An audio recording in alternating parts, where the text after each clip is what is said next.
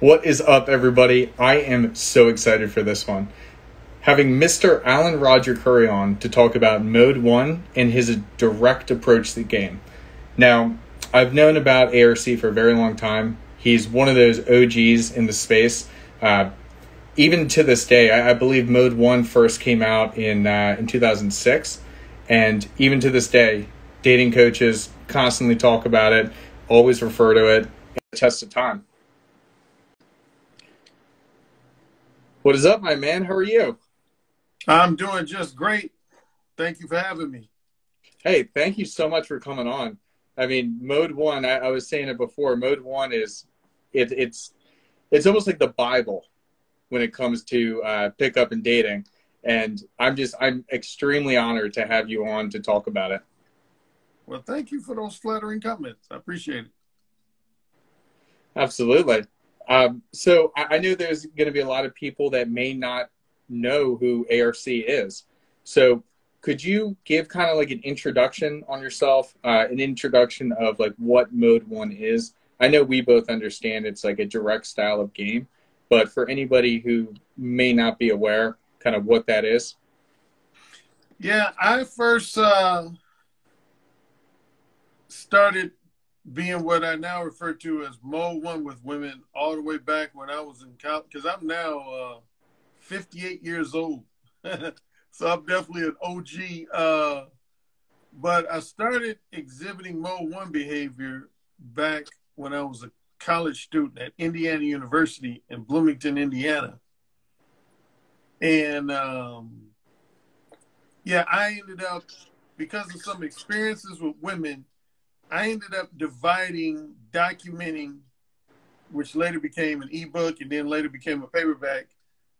I concluded that all verbal communication styles with women basically fell into what I asserted was four categories or four modes, which was mode one, mode two, mode three, and mode four. Um, I would say mode one and mode four represent what's commonly known as a direct style of verbal communication, and mode two and mode three represent what's commonly known in the manosphere as an indirect style of communication. And I'll give the gist of each mode. Uh, mode two would be you meet a woman, initiate a conversation with her, and then you proceed to engage in a conversational style that is fairly polite, very cautious, flattering to a degree, entertaining to a degree, and probably most prominently vague and ambiguous, kind of beat around the bush. Um, as I said in my most recent book called No Free Attention, for the most part, mode two is dishonest in this sense. You're you're not there, there's two ways you can lie to people. You can lie by commission or you can lie by omission. Mo two is guilty of lying by omission because typically if you're talking to a woman and your objective say is short-term casual sex, you're not upfront about that. You you keep that to yourself. Um, then Mo three is representative of lying by commission. In worst case scenario, when you're mode three, you're too timid to approach women at all. So one one variation of mode three would be what I call mode three timid. You don't you don't have the confidence or courage to approach a woman and initiate a conversation with her at all. And for those guys who do have enough confidence and courage to initiate a conversation, everything about their conversation is typically dishonest, disingenuous, misleading, manipulative, and cowardly. Mode four is when you're like a bitter type dude. You, have had some bad experiences with women in the past. You might have got rejected by quite a few women, ignored by quite a few women, exploited and manipulated by quite a few women, generally treated disrespectfully by quite a few women. And so now you've accumulated a high degree of bitterness and resentment towards women. So uh, that would end up coming across as very antagonistic and borderline misogynistic with women.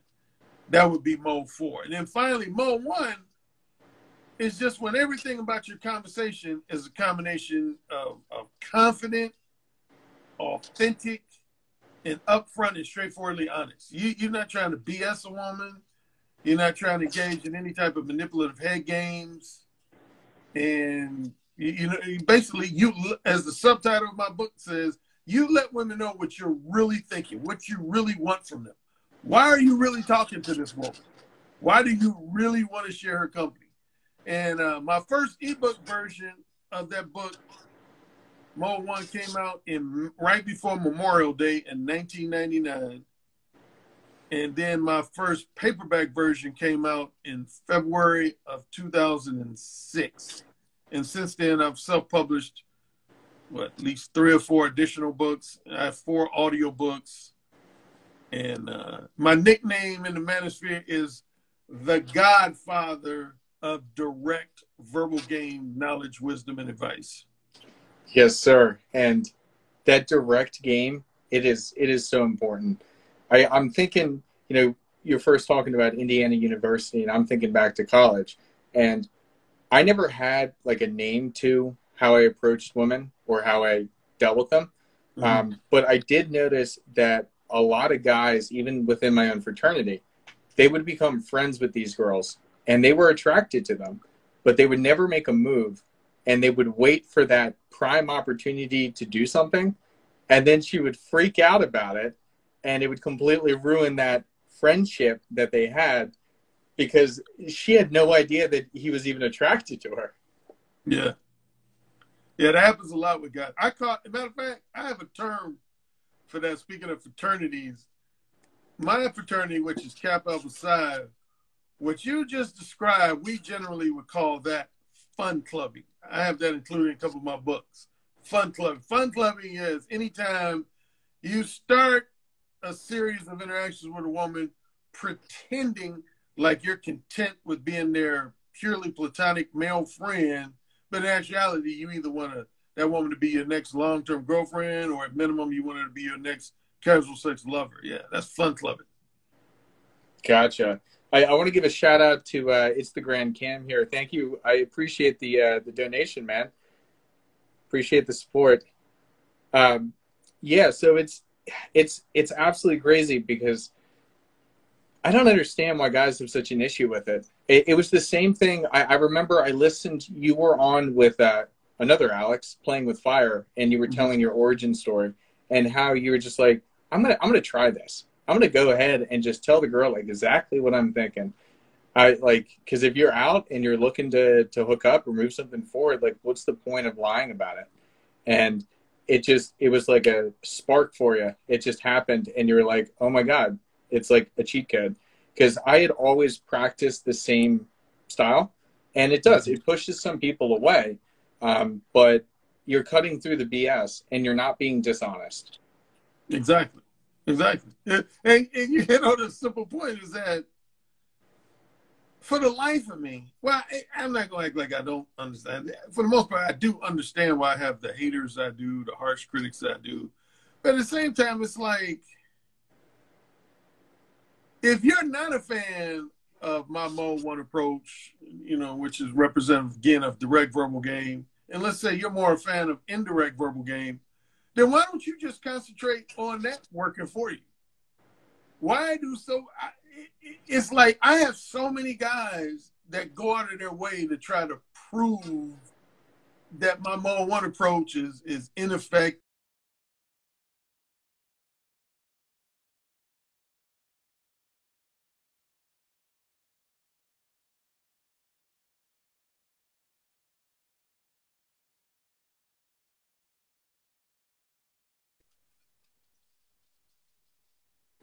were some of my closest friends in the fraternity, my, my fraternity brother. They used to say, Oh, Alan, you'll never get away with just telling a woman straight up that you want to bang her and, you know, you don't want to be her boyfriend. Because kind of somewhat throw a lot of my frat brothers under the bus, most of my frat brothers, when they wanted casual sex, what they would do is what a lot of guys do to this day they would pretend like they wanted to be that woman's next long-term boyfriend. They would give her the misleading impression that they, you know they wanted to be her boyfriend, and then after they had sex with her two times, three times, five times, ten times, they would just go ghost on her. And I was pretty much the first guy in my fraternity to go against that that routine. I was like, no, if I want casual sex, I'm gonna tell a woman straight up that that's all I want. And again, a lot of them were like, no, nah, that'll never work. You're gonna get slapped. You're gonna have get drinks thrown in your face. And then once they saw me working my magic, they were like, whoa, dang, Alan got some kind of Jedi mind trick. How is he doing that? He just tells women straight up. And and uh, but anyway, yeah, I've had so many guys over the, the past few decades that's just like, oh, I'm Mo one will never work. You know, you can never be successful with women doing that. Yeah, no, and it it is so true, and it's um, they women appreciate that, you know, like imagine how they feel if you act like you want to be a boyfriend. You go ahead and, and you hook up that night, and then you never speak to her again. Exactly, and that's the thing. I, I, I talk about this all the time on my channel. I was just talking about my quote unquote haters and critics. I very rarely have female haters and critics of my Mo One approach. I would say no less than 95% of the women I've talked to over the years about my Mo One approach, they love it. They love it and they respect it. I, I rarely have women say, "Oh no, I would never want a man to be Mo One me." Never. Oh, that, that would disgust me. I, I, I, I've never had a woman say that. But yet I got all these guys that are that, that try to hate on it. But yeah, women. Uh, the last time I would say was uh, I was in uh, Los Angeles where I used to live for six and a half years, and I was attending this conference, and I ended up having kind of some you could say informal survey type conversations with some women about a few issues related to my books, like Mo one versus Mo two, and alpha male versus beta male type stuff, direct versus indirect. And when I get into a long story, I, I, I talked to about roughly 15 women. All of them said this was pretty much every woman said. They said when it came to casual sex, they said they wanted all men to be Mo one. The only time they gave me some difference of opinion was when it came to a long term relationship. That's when I did have some women say, well, I don't know, for a long term relationship, I might want a guy to be more slow paced, indirect. Um, but for casual sex, all of them were like, no, I, I would rather guy be Mo one. Absolutely. And I have to say, personally, um, women that I've done more of that direct mode one approach to, mm-hmm. those are the women that I have the greatest sexual chemistry with. Because it's just, it's innate. And it's just, it, it just, it turns them on. And when it clicks, it clicks. I a thousand percent agree with you, Alex, man. It, that's been my experience too. And I would say that's been an experience of just about all, you know, my clients who've been able to use Mo One to their benefit have said the same thing. They said it just creates a higher degree of sexual chemistry between them and the women. Absolutely. So, um, for anybody who doesn't exactly understand it, like obviously, want you to plug your book, and I want everybody to check it out. Um, I will include some of that in the description afterwards. But what does a mode one approach look like? Let's let's say, for example, you were out, you see a girl, and you're going to use the mode one approach to go talk to her. What does that exactly look like? Okay, good question. I have actually, most of my followers know, I have three distinct versions of Mo One that range in terms of language and range in terms of just how quickly you lay your sexual desires, interests, and intentions on the table. I'll start with the most explicit to the least. My most explicit version of Mo One is what I call Mo One Hardcore. Mo One Hardcore. That's that's a real ballsy. That, that would be an example that obviously would be like you say you at a party and there's a sexy woman there and you literally just go up to her and you're like, you are just fucking sexy.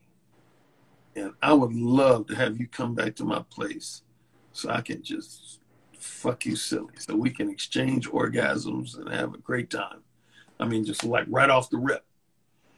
And I realize that a lot of guys, if they're inexperienced, don't have quite the balls to pull that off, and that's where. And if they try it, and if they try it, they come across extremely uncalibrated, and that's when it gets creepy.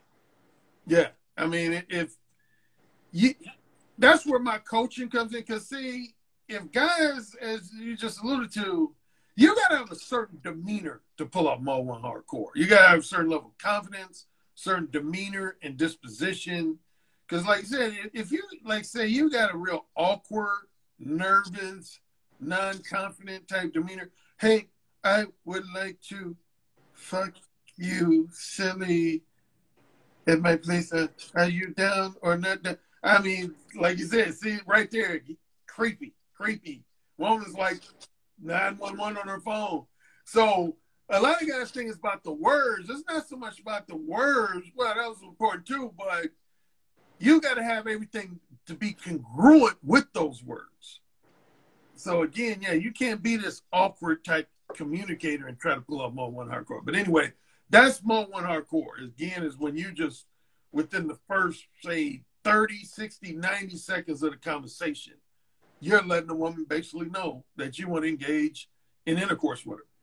Stand what I call standard mode one is when you would take roughly about three to five minutes to fill a woman out. So you would uh, here's my typical default mode, standard mode one approach. I usually would just go up to a woman and say, "So, when would when would you like to share my company one on one? Next week or the week after?" That's man, it would range from woman to but that would be probably the closest thing I had to a, a default opener. I would say, "So, when would you like to share my company one on one? Next week or the week after?" And what that would allow me to do, that question, if anybody's read my books and is familiar with my books, they know I have five, all of my principles, you could say, center around five uh, archetypes of women, which is the reciprocator, the rejecter, the wholesome pretender, the erotic hypocrite, and the manipulative time waster. And I'll go ahead and get the gist of each of those. The two most straightforward women you're going to talk to, any man's going to talk to, is the reciprocator and rejecter. A reciprocator is a woman that knows within a minute or two after she meets you that she's attracted to you, finds you sexually appealing, and basically she's down to fuck. And she's gonna let you know that. She's not gonna hesitate. She's not gonna try to play any games, you know, beat around the bush. She's gonna let you know that. As soon as you basically, as soon as you express an interest in having sex with her, she's gonna reciprocate. Similarly, but at the same time, totally differently, would be the rejecter. A rejecter is a woman that knows within the first 30, 60, 90 seconds after you approach her that you're just not her type for whatever reason. You might be too short. You might not be the race or ethnicity she likes. You, whatever. Your teeth might not be as white as she wants to be. It can be a number of things, but she knows fairly quickly you're not her type, or it might be just on her, not necessarily you're not her type, but she might be already married or she might be already in love with a, a boyfriend or something like that. So anyway, she's going to reject you fairly quickly. She's not going to beat around the, the bush or anything. Now, the three trickier types is the wholesome pretender, erotic hypocrite, and manipulative time waster. A wholesome pretender is a woman that, for the most part, is attracted to you, and deep down, she doesn't mind engaging in a few episodes of short term casual sex. But she has some concern over being slut shamed. Because she, she's, she's really paranoid about her good girl reputation and, and, and public image. So, what she's to try to find out from a guy, first and foremost, is are you a guy who's just private, confidential, and discreet? she she'll usually make comments to the effect of, "Well, I'm a good girl, you know. I don't, I don't want to ever have a reputation for just jumping in bed with guys." And what she's really trying to find out is, if I do go ahead and jump in bed with you, you're not gonna like tell all your frat brothers tomorrow, are you? You know, are you are you gonna be able to keep our interaction between you and I? And you just essentially would have to reassure her in one way or another that you are a private, confidential, discreet type guy. Now, a woman who's going to give you a little bit more hard time, and that's an understatement almost. The erotic hypocrite, erotic hypocrite is a more materialistic, pretentious, and antagonistic and argumentative version of a wholesome pretender. That's the type of woman that say you would approach her and be more one and propose casual sex. She's gonna be like, "What? Do I look like a slut to you? Do I? Do I just look like a two-bit whore to you? Is that what I look like? You better, you better talk about taking me out to dinner somewhere, you know, and spending some time with me, getting to know me, you jerk, you asshole. You know, she's gonna try to throw out criticisms and insults. Because one of the things she's trying to do is, and I'm sure you're familiar, certain women, they'll, they'll shit test guys to see yep. where you stand. To put it in overly simplistic terms, a lot of women shit test guys to basically see if they're truly alpha or if they're pretending to be alpha to, to see if they can keep their frame.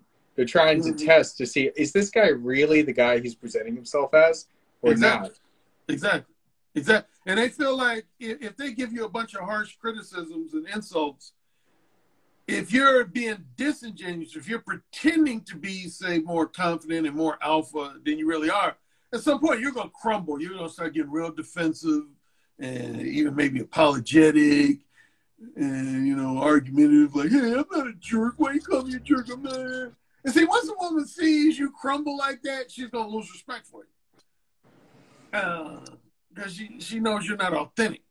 And then the final of the five categories is uh, the manipulative time waster. And see, this is the archetype that's most relevant to the whole direct versus indirect argument, because a lot of guys, when they're indirect, they'll assume that if they meet a woman, let's say Tiffany, and she seems very friendly, and even more so than friendly, she seems very flirtatious, they'll feel like, okay, yeah, I'm on my way. I'm on my way to connecting with Tiffany. But what they don't know is, what some guys don't know is that in the same way a lot of men sometimes get labeled by women as being sexual predators, there's a lot of women out here who are time oriented and money oriented predators.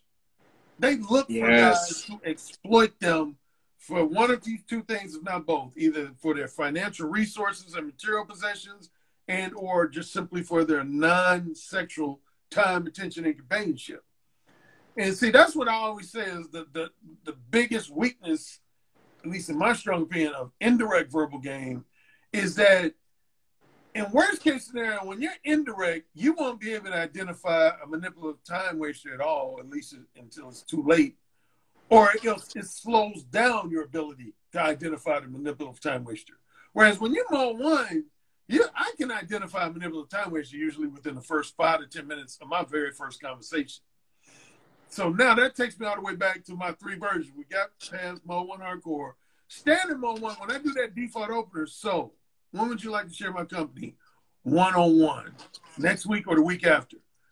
I can tell based on women's responses if they're reciprocator, rejector, wholesome pretender, erotic hypocrite, or manipulative time waster. Yep. And then the final of the three variations of Mo 1, the most conservative and tame is what I call Mo 1.5. That was actually first coined by my older brother named Steven.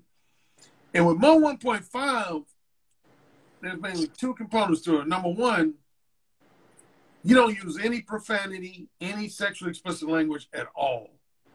So for guys who kind of have an aversion to using profanity or R-rated, X-rated, triple X-rated language, you wouldn't use any of that when you Mode 1.5.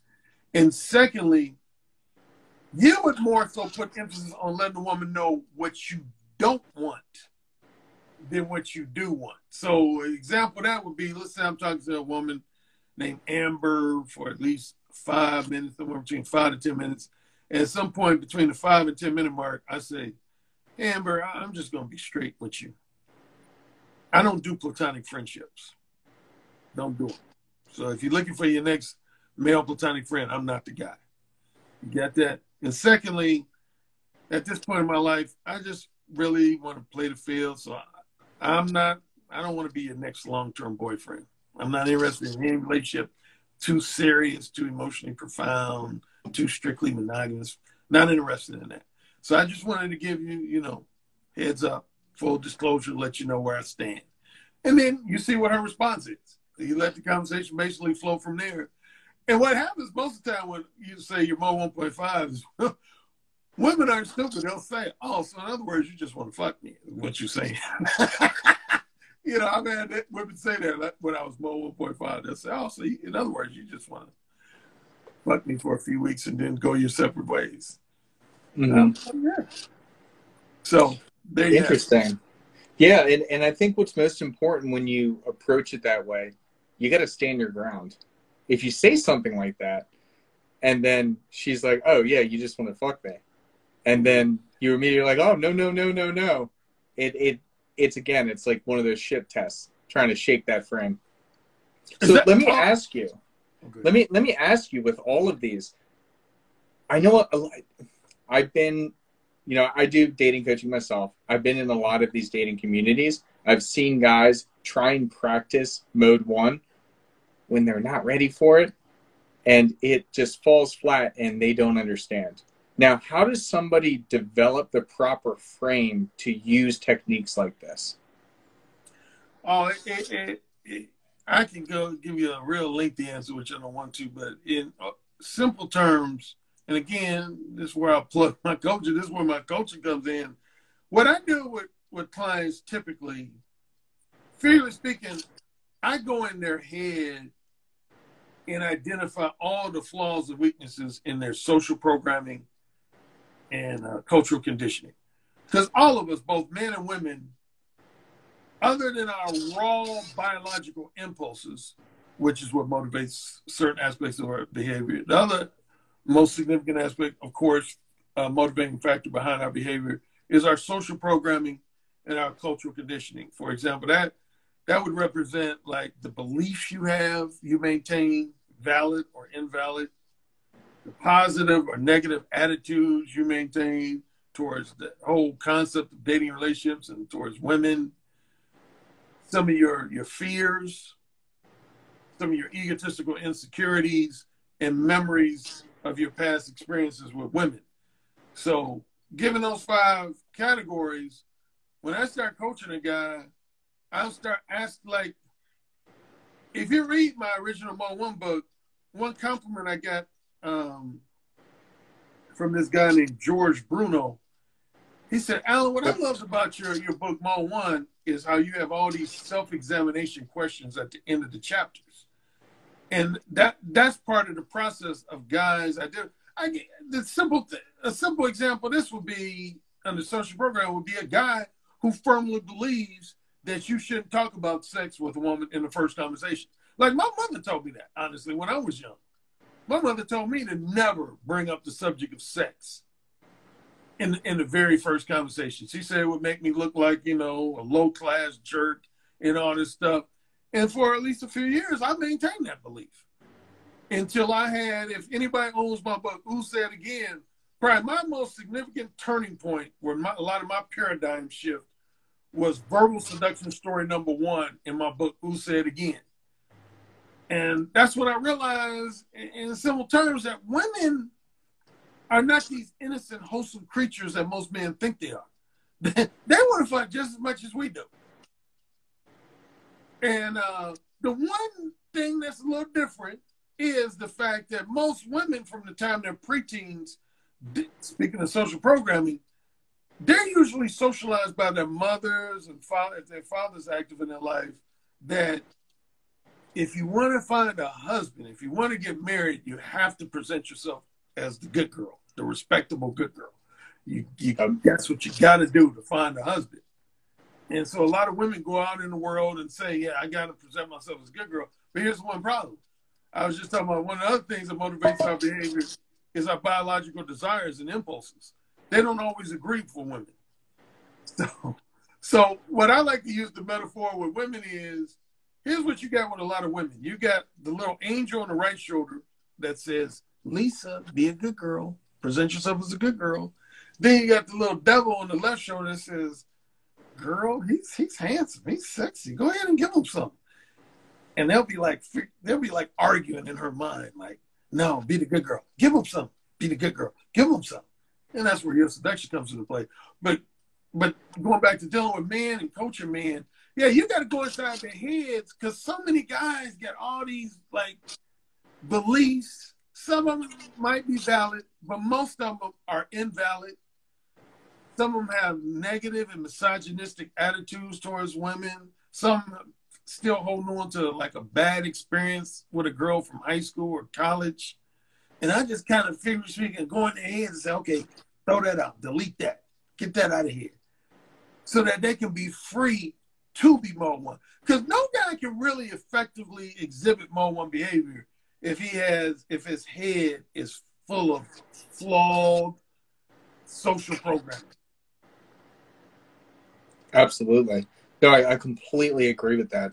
That's it's one thing that I work on with everybody. It's like the first thing. It's that self work. Have you done the self work yet? Or are you just trying to jump forward? Like you're just trying to get a girlfriend or you're just trying to get laid. Like what are we really trying to do here? And I have to say, like, I think it's more now than ever that we have that, you know, misogynistic views, those, you know, incel, incel minded type of guys, and they're just like angry at the world and they're ang- angry at girls. And it's like, why? There's no reason to be. It's just the way, it's way people interact. Mm-hmm. Yeah, you're right. Um, yeah, a lot of incels, and with the incels, I don't want to, you know, disparage all of them because I, I, know that some of them are genuinely looking for help from guys like you and I. But there's too many guys out here that are looking for what I like to refer to as a magic pill solution. They they just want the the quick overnight success type formula. And I let guys know up front, I'm not your guy if that's what you're looking for. I'm, I don't have any magic pills for you. You know, you to have to put in the work. And um, but yeah, you, you got a lot of guys, and in there, in there, some of their guys partial defense though. I think you know there's some guys in this industry, the dating advice industry, that market themselves as having an overnight success magic pill for guys. And they'll say, hey, if you buy my DVDs by if today is Wednesday, by Friday morning, you'll be a great womanizer. You'll be slaying women left and right. And it's like, come on, man. Yeah. And it's just it's ridiculous. And it's it's almost it's preying on people's false hope.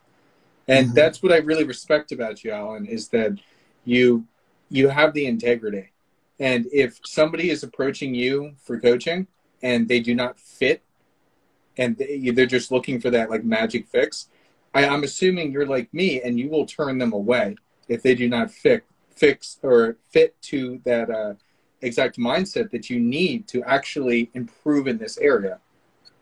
Exactly. That, you, you, you, hit it right on the head. That's exactly what I do because I've had guys who have come to me in one way or another looking for an overnight success magic pill. And I tell them, I say, you know, I've even, you know, uh, like people bought, say, a Skype or telephone consultation from me. I'll immediately refund their money. Once I know that they're in that category, I'm like, no, I'm not your guy.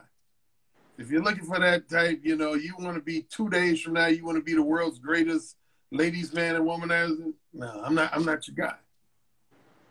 Um, yeah. No, and I, I think that's great. The one thing that I pride myself in is when I do initial consults with people, I am very direct and very straightforward with them. And I get on their case right away. And I'm like, I'm going to give you the God's honest truth. And this is how we're going to do things. If you can't handle that, this is not a good match. Because I'm not going to tell you what you want to hear. I'm going to tell you what you need to hear. And we're going to get there. Mm-hmm.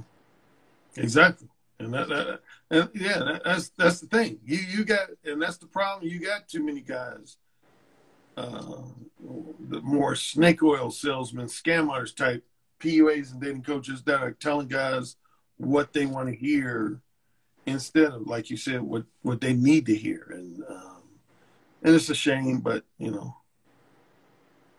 Yeah, so it is. It, it's not up to us to fix everybody. We can fix those who want to actually get the right information, but it's mm-hmm. it's up to you know you as the consumer and trying to improve your life. Like, are you actually looking for the truth, or what what is it you're looking for? Because quite frankly, I I see a lot of these um, uh, companies, programs, coaches. Well, they'll have like 40 different courses you can take and it's it's just to like cycle you around in like essentially like a glorified friend group of people to like bitch and moan to about the way the world is.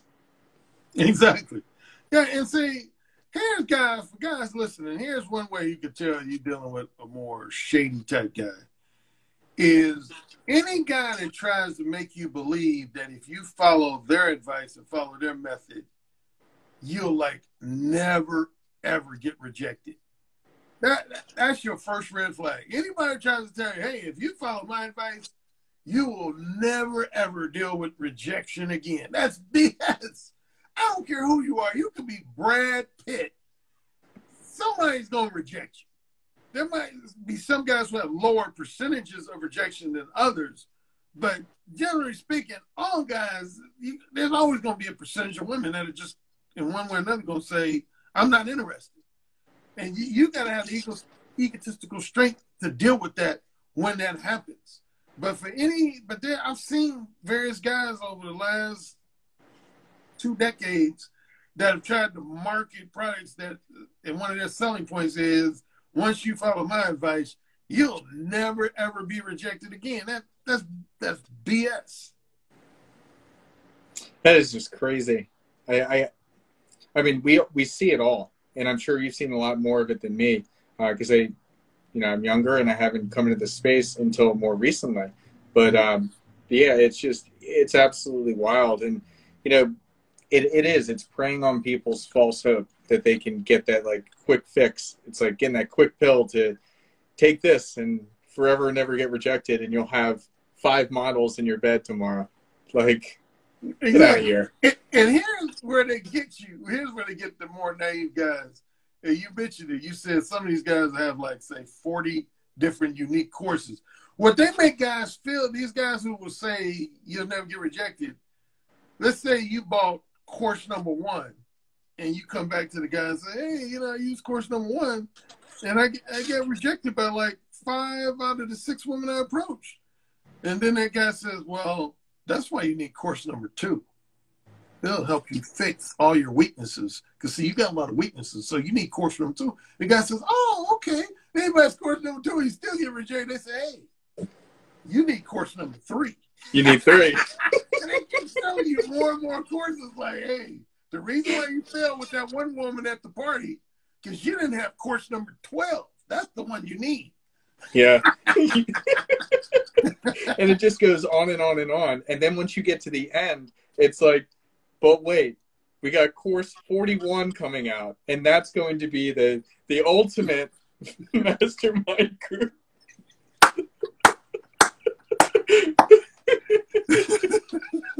yeah. It's crazy. It is. It's it's wild. And you know, quite honestly, the reason why I love this it's it's it's so interesting because if you're a dating coach and you help somebody get better at it, once you help them, once they figure it out, they are not a repeat customer because they don't need to be anymore.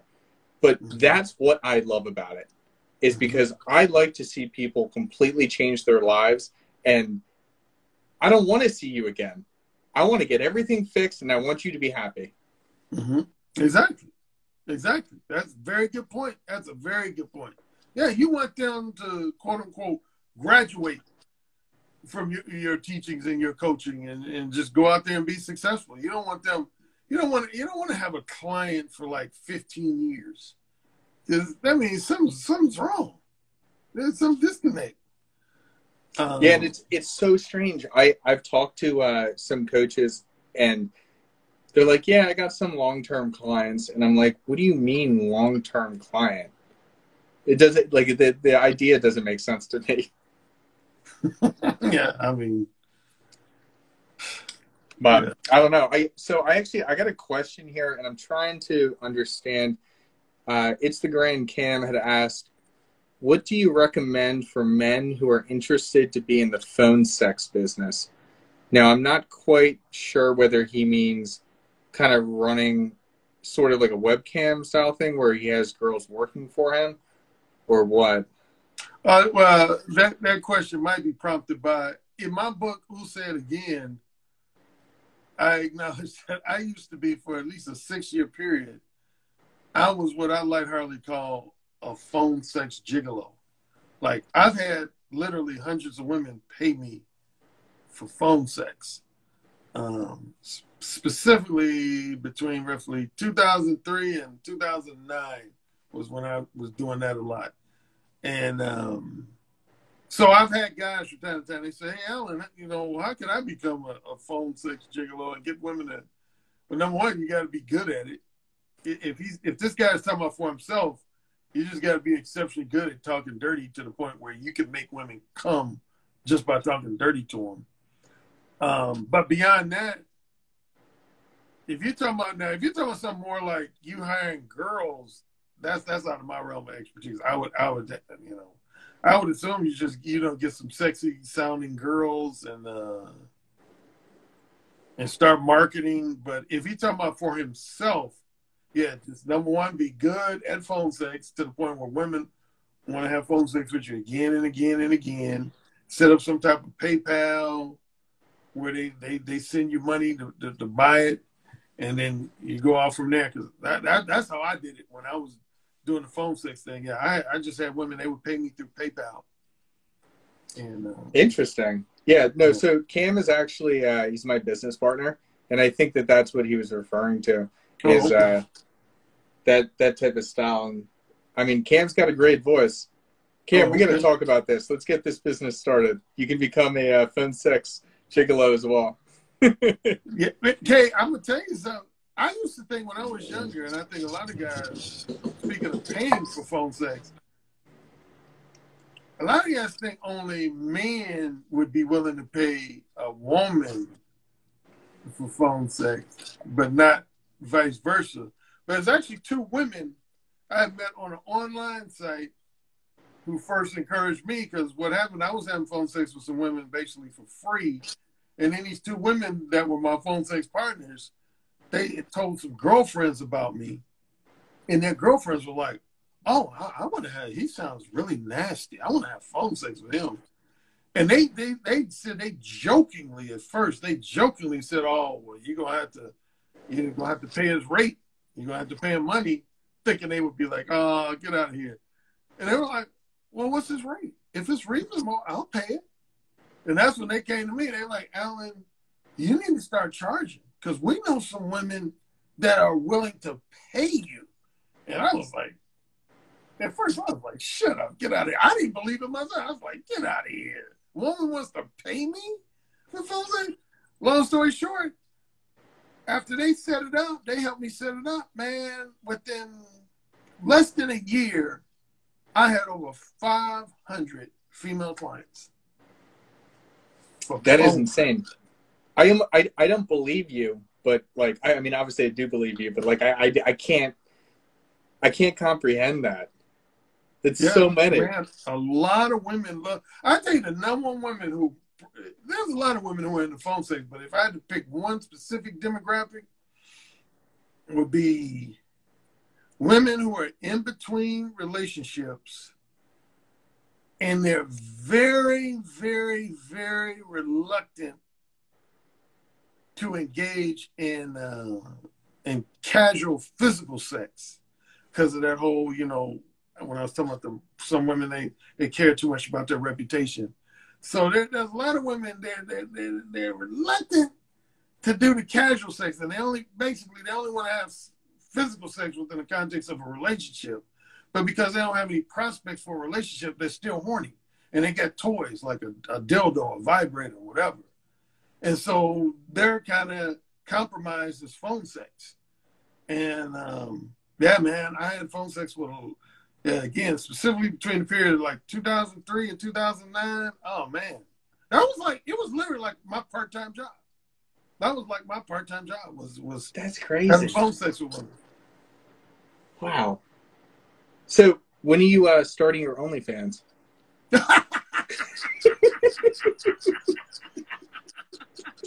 That's a good one. Have a good one.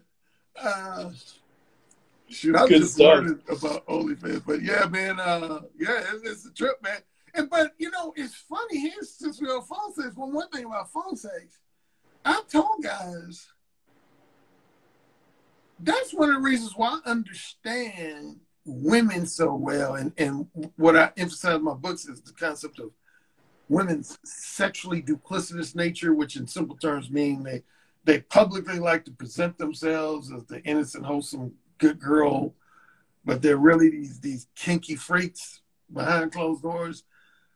I learned probably just as much, if not more, from my phone sex episodes about women's sexually duplicitous nature than I did the women I actually interacted with physically. Because women would share just certain fantasies they had, things they wanted to do.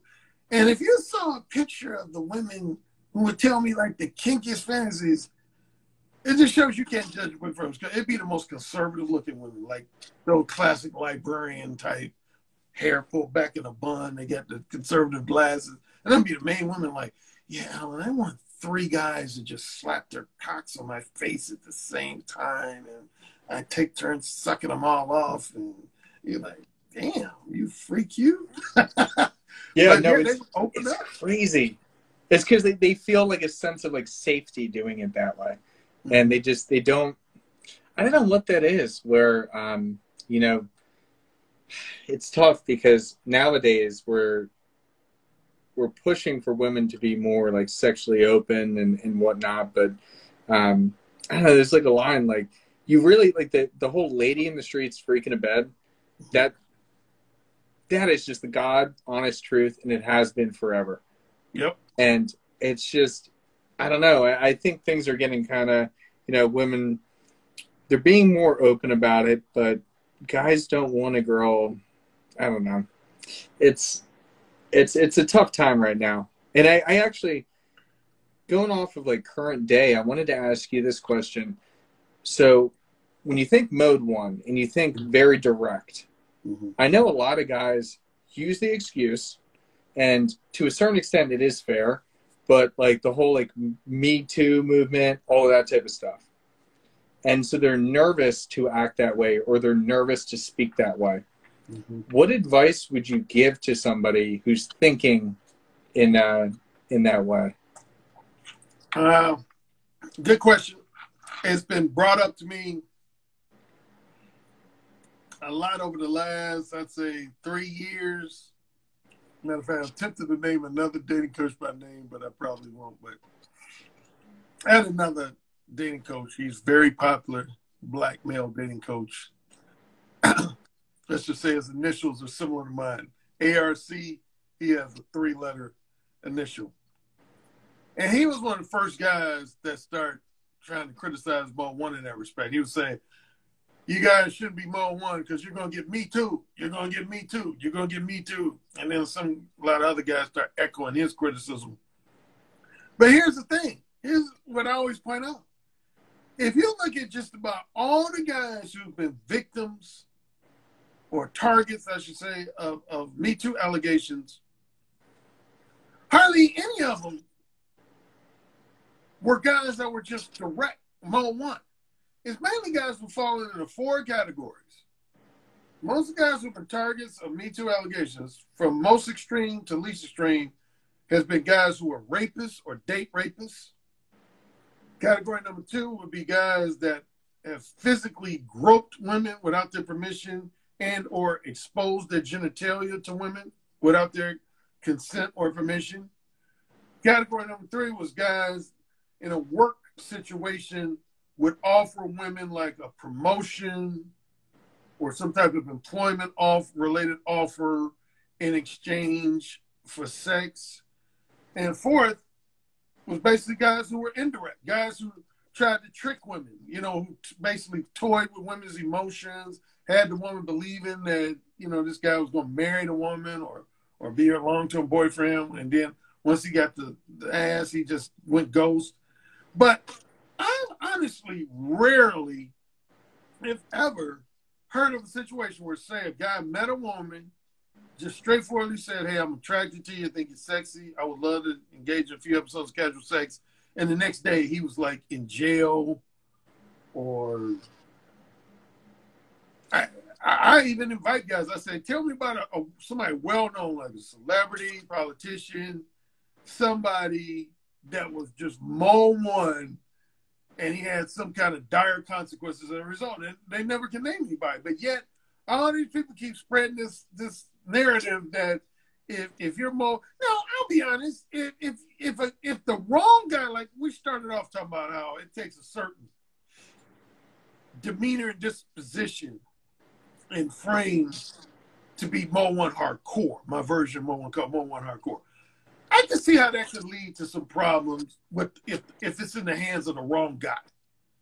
A guy just just doesn't deliver or or delivers it with a coworker. Number one, I always say, and some guys disagree with me on this, but in most situations, you shouldn't be trying to bang your coworker, and particularly a subordinate. Yes. Anyway, Ben, when you rewatch this later, this is for you. We tell you every single week, stop doing it.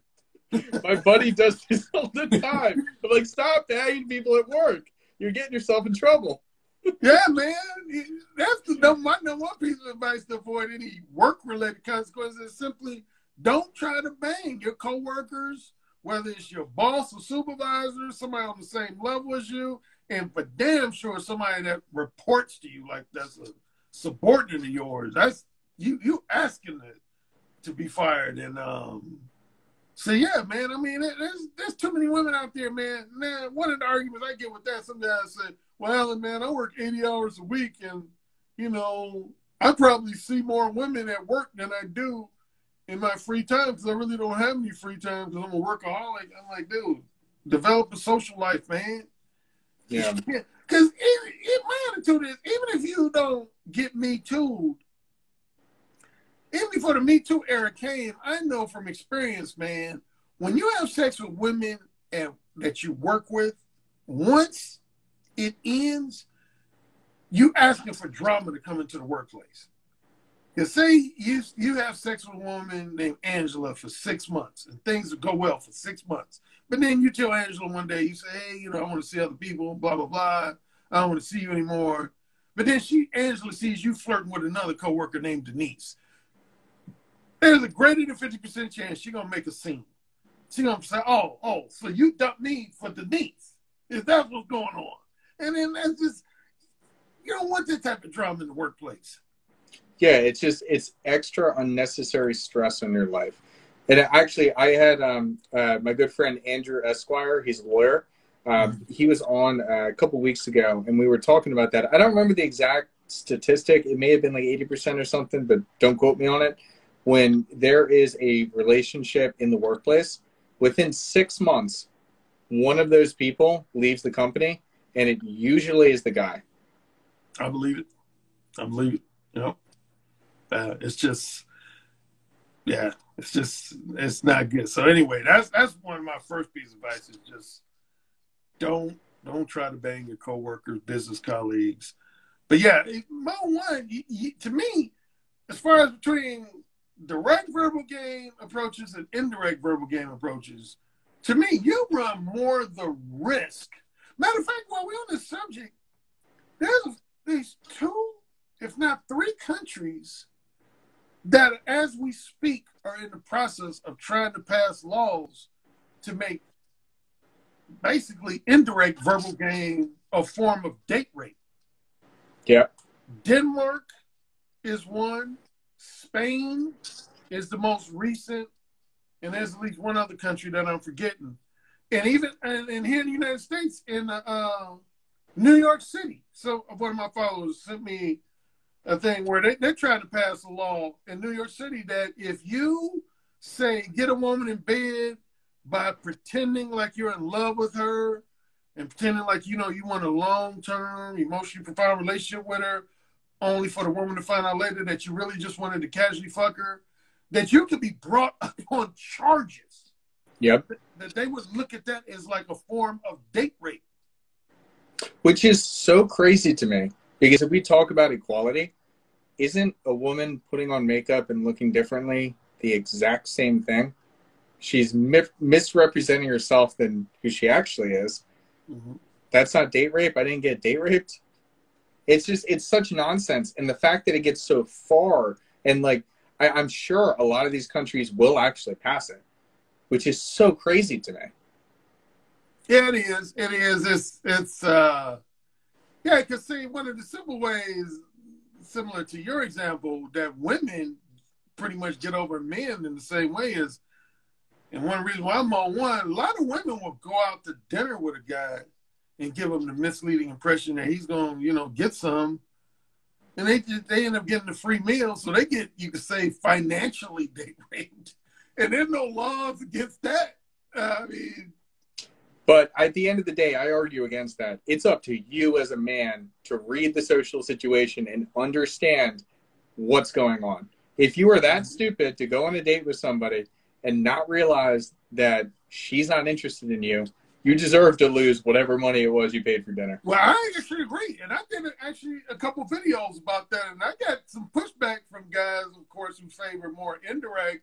But I said, particularly, I said, if your objective is kind, like one strong stance I have that a lot of guys raises eyebrows and causes some guys disagree with me. I don't even believe in going out on dates for casual sex.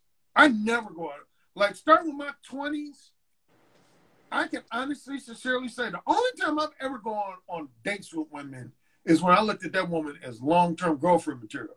But when I knew for hundred percent fact that all I wanted from a woman was casual sex, I don't even take women out on dates. I would just either my main thing was I straightforwardly told what I wanted, and then I would proceed to use my dirty talking skills, either face to face, over the phone. I get them to have phone sex, and while we have phone sex, I would make them say, I say, say, Alan, I want you to fuck me. And they would say, Oh, Alan, I want you to fuck. I'd say, say it again. That's where the title of my book, Say It Again, because I always say, say it again. I say, say it again. They say, Oh, Alan, I want you to fuck me. And then I go over to their place and we fuck. But I wouldn't I wouldn't take them out on no. But yeah, I, I totally one thousand percent agree with what you said, is that some guys think that's part of seduction. I'm like, no, that's wining and dining. Wining and dining is not synonymous with seduction. Because most women, a woman can be totally unattracted to you. But if you offer her a free dinner at a five star restaurant, ain't too many women gonna turn that down. I, would go on a date with a gay guy if it meant I get to get a five. like, why not?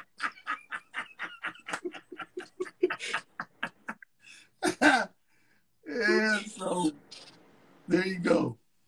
No, absolutely, and that's uh that's something I advocate to all my guys. Is I always tell them because for me it's always direct to my place. As long as you do so, instead of um, you know phone sex or something like that, I do it more video chat like this. So I'll get them on FaceTime. We'll mm-hmm. talk for like 15 minutes, 15, 30 minutes.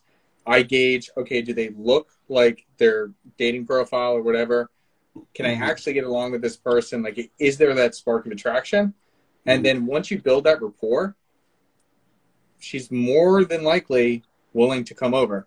And you don't have to worry about any of that nonsense of going out to dinner. Yep. Yep. I agree. This is an interesting question here.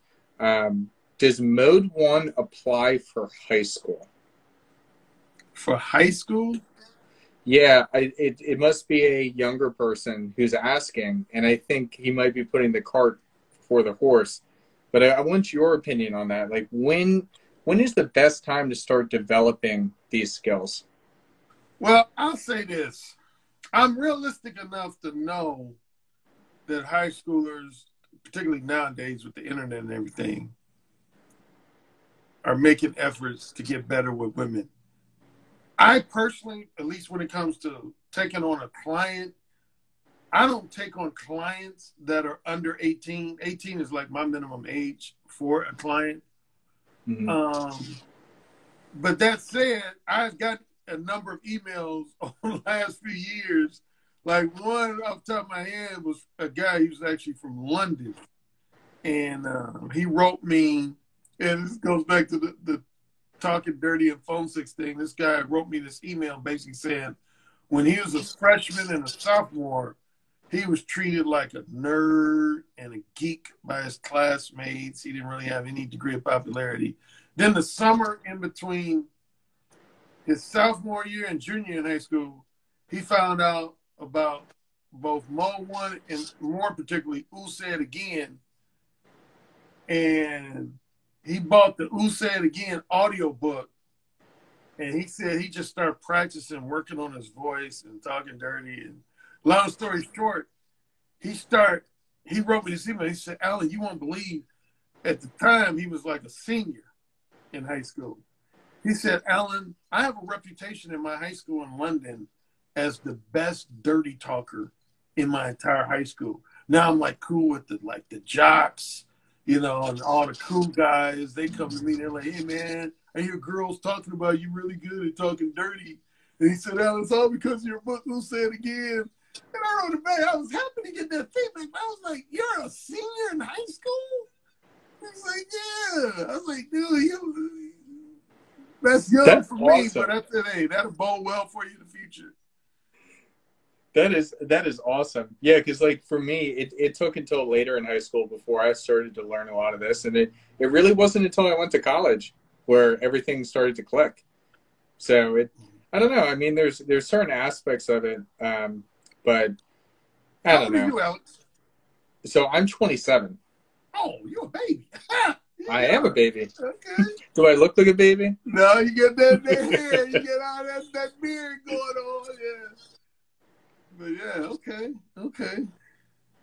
Yeah, lot, lots of life experience so far. Um, we can get into that another time. Um, yeah. But yeah, I've I've seen a lot so far, and uh, it's cool. It's it's cool. I love doing this, and uh, I love seeing the world as it is. I have to tell you, I never used dating apps until this whole COVID thing and lockdown, and mm-hmm. once I figured it out, it it really it's it's like going on Amazon. Like, what do I want to order this weekend? And you can just boop boop boop boop boop. You do all the moves right, and then you get your delivery on Friday night. It's absolutely it's absolutely crazy, and I love I love teaching guys about this. But again, I like to teach you know morally just guys, and that's what happens when we do our initial consultation. Is I kind of read through you, and I determine whether we're a match or not because I'm not going to give some jackass these these skills because it's just I I I want to bring people together, not force them even further apart. I agree with you. I agree with you. Exactly. Yeah. Awesome. Um, let me see if there's any other questions here. No, I don't think so. So, okay. Alan, we can go ahead and uh, and wrap up here. I want to respect your time. We were planning to go for about an hour, a little bit over. Mm-hmm. Um, if you want to go ahead, um, I can include your website and stuff in the uh, video description. But if you want to go ahead and like plug what you're up to, uh, maybe talk about like what you do on Patreon, things like that. Floor's yours. Okay, yeah. Oh, uh, number one, again, thank you for having me, Alex. I've enjoyed the conversation. Uh, I appreciate the invitation to chop it up with you. And yeah, all my books can be found on Amazon.com. Um, my main website is actually directapproachdating.com, which I think Alex will probably put in his description. And uh, oh, and as far as websites, one more would be my Patreon, patreon.com slash mo1, M O D E O N E. And yeah, I do with Patreon, I do a mixture of my YouTube videos, and then I do some videos that are exclusive to my patreon.com members where I just clarify a lot of things from my books or tackle certain scenarios guys throw at me um, related to using Mode One. Um, the one thing I've paused because of COVID, I normally offer email consultations, Skype, Zoom, and telephone consultations, and one-on-one face-to-face coaching sessions. I haven't done any one-on-one face-to-face coaching sessions though since uh, the pandemic, but I'll probably resume at some point in upcoming months, weeks, and months. Um, I don't have any speaking engagements that I can think of coming up. Although I have, uh, guys can go on YouTube and find that I spoke at what's known as the 21 convention. I got an interesting claim to fame. Actually, I was I was the first African American speaker the 21 convention ever had. I, I didn't think that would be possible in the 21st century, but That's crazy. That's yeah. awesome. Yeah, I've, I've watched your speeches from there. It's, you're a great speaker, man. That's Thank why I was so excited to have you on as well. Thank you. I appreciate that, Alex. Um, but yeah, other than that, oh well, uh, just on a personal note, yeah, I'm now, you know, a lot of people tripped out when they found out I'm I'm, I'm now married. I'm married uh, to a woman that's almost half my age because I'm 58, she's 30. Uh, got a son. I'm a father now. I've got a son that's about 10 months old, and I'm enjoying that new chapter of my life. Um, but I just love working with guys, and, and, and as Alex said, I, I, like working with guys who have a good ethical core to them. You know, I, I believe in. It sounds corny, but if you're going, I always say to guys, if you're to be a womanizer, I believe in being an ethical womanizer, meaning that I don't, I don't, I don't like the guys who, again, pretend give women a misleading impression that they're falling in love with them or want to be that woman's next long-term boyfriend or future husband when they're really just trying to have sex with them 10 to 15 times and then going their way. I don't I don't like that. And uh but um yeah, so again just uh thank you and uh yeah, and continued success to you, Alex. Thank you very much, sir. Appreciate it. All right. I go ahead and end it here.